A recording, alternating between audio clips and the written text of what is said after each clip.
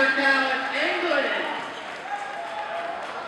Stephen Hall retakes the lead.